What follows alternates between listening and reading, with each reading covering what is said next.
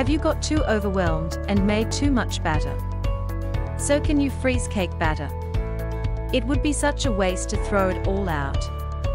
The best thing to do is not freeze cake batter that uses whipped egg white as a leavening agent or the sugar and butter mix that gives rise to a spongy batter because the batter may come out of the oven deflated.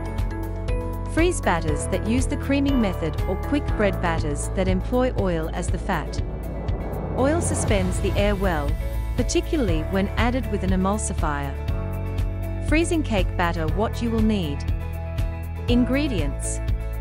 Cake batter. Equipment. Mixing bowls. Measuring cups. Measuring spoons. Spatula. Portion scooper. Ziploc bags. Muffin tray. Cling wrap, plastic wrap. Step-by-step -step instructions to freeze cake batter. Containers. Step 1. For larger amounts of batter, use larger containers like a loaf pan or layered cake. Step 2.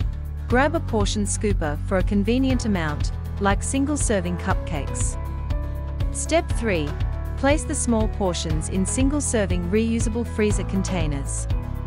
Leaving half an inch of space allows the batter to expand and contract during the thawing and freezing process. Step 4. Place the cake batter in the refrigerator to defrost at night or before you want to use it. Step 5. When thawing, give the batter a stir and portion into the baking pans. Bake depending on the recipe steps. Ziploc bags. Step 1. For larger amounts of cake batter, you can store it in Ziploc freezer bags. Remove all the air out first so that the bag lays flat in the freezer. Step 2. Roll the zip edge back before starting. Grab a scooper and place your batter on the Ziploc bag.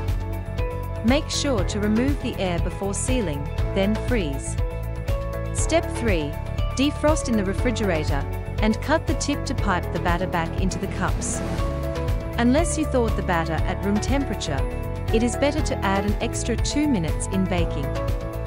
Freezing the batter in a wrapper. Step 1. In a lined muffin tray, Fill the cups with cake batter. Step 2. Tightly cover the tray with cling a plastic wrap, so it doesn't drag on the surface. Step 3. As it freezes, remove the tray, toss the cupcakes into Ziploc bags and try to remove air as much as possible. Step 4. Place it at room temperature before baking or bake it for additional 5 minutes. Tips and tricks on freezing cake batter. You are required to do several things when freezing a newly prepared cake batter.